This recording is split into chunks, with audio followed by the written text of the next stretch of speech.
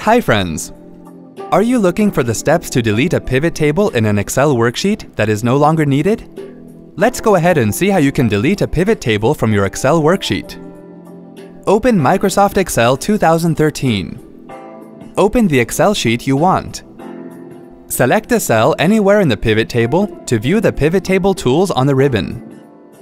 Click on the Analyze tab. Click on the Actions icon, click on Select, and then click on Entire Pivot Table.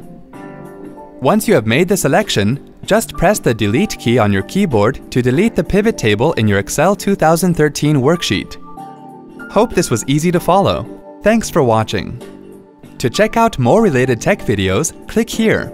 If you have any query or want to share something with us, click here. To get iYogi tech support, dial toll-free numbers. To stay empowered technically, subscribe to our channel.